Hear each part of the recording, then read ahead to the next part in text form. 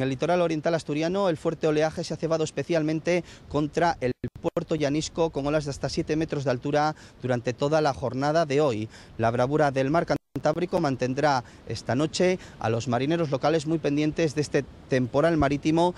ya que se espera que con la pleamar de esta próxima madrugada las olas vuelvan a sobrepasar el dique de la zona portuaria, poniendo en riesgo las embarcaciones de la flota pesquera Llanisca. Unas olas que, como decíamos, han alcanzado los 7 metros de altura debido a las fuertes rachas de viento de hasta 80 kilómetros por hora. Para mañana, la Agencia Estatal de Meteorología prevé que esas rachas de viento aumenten hasta los 100 kilómetros por hora, por lo que, según las previsiones, la comarca continuará en alerta naranja con olas de hasta 8 metros.